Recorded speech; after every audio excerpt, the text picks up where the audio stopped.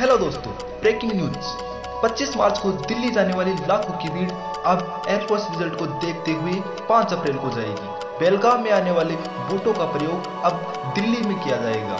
भीड़ का नेतृत्व air marshal R S sir और बी एस सर करेंगे। सपोर्टिंग आर्म के रूप में कमांडर संजीव ठाकुर सर रहेंगे। मशहूर फाइटर पायलट पुरुषोत्तम राफेल के साथ होंगे रवाना। रिटायर्ड अधिकारी विकास तिवारी सर हरी झंडी दिखाकर रवाना करेंगे। हमें पल पल की अपडेट देने के लिए एयरमैन एस के व उनके साथी एयरफोर्स एक्सचेंज ग्राउंड लेवल पर रहेंगे मौजूद। दिल्ली वालों, कर लो तैयारी।